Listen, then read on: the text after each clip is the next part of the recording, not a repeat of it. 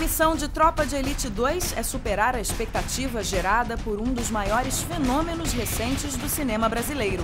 A guerra funciona como uma válvula, cara. O primeiro Tropa de Elite se passa em 97, durante a Operação João Paulo II. É, nessa época, várias coisas não existiam. Não existia o PP, não existia milícia. E você vai encontrar o Nascimento é, em outra posição, outro momento da vida dele. Ele não é mais capitão é, e chefe de uma equipe do BOP. Ele começa o nosso filme como comandante geral do BOP. Ele vai se transformando ao longo do filme, né? Ele já começar o filme 15 anos mais velho, ele ainda é, de certa forma, um pouco o, o, o, o nascimento do primeiro, só que mais velho, mais amargurado, e com as coisas que vão acontecendo no filme, ele vai entendendo da pior forma possível qual é a função dele nesse jogo. A continuação do longa, que ganhou o Urso de Ouro no Festival de Berlim em 2008, contou com o mesmo time de técnicos internacionais do primeiro, gente responsável pelos efeitos especiais de produções como Inimigos Públicos e Transformers: A Vingança dos Derrotados.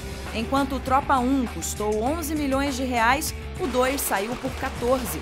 E assim mesmo com a produção costurando várias parcerias. O Bop tinha um caveirão parado, a gente precisando né, de, um, de, uma, de dois caveirões para fazer a cena. Então a gente propôs ao Bop, a gente conserta o caveirão de vocês, que a gente está parado aí, ó, jogado no, no, estacionamento, no quintal, e vocês emprestam para filmagem e depois o, o caveirão fica funcionando.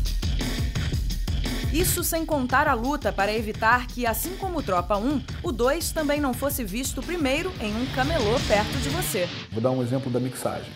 Na mixagem, as pessoas têm que ter o filme num HD para poder ver o filme e ajustar o som e os volumes e tudo mais. O que, que a gente fez? A gente criptografou o HD e o HD não ficava no laboratório. As pessoas que entravam na ilha de edição eram filmadas por uma câmera e cada um, para entrar na sala, tinha que botar a sua senha senão tocava um alarme. Manter as filmagens em segredo também foi uma operação de guerra. Teve até a tal polêmica da invasão do Dona Marta, né? A gente avisou na Associação de Moradores de Botafogo, mas a gente não podia anunciar no jornal que a gente faria a filmagem de uma invasão do Dona Marta, porque era impossível. Teria um, helicóptero de uma emissora de televisão filmando, teria 500 jornalistas, já tivemos jornalistas que se filtraram, que atrapalharam cenas. Né?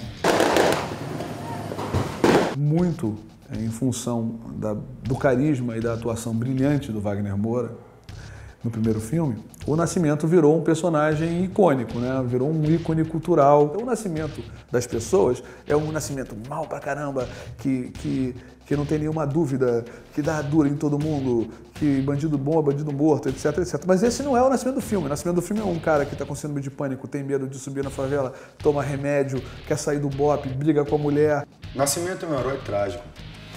Nascimento é um, é um personagem que, que nos dois filmes caminha inexoravelmente para um destino trágico. A responsabilidade é minha.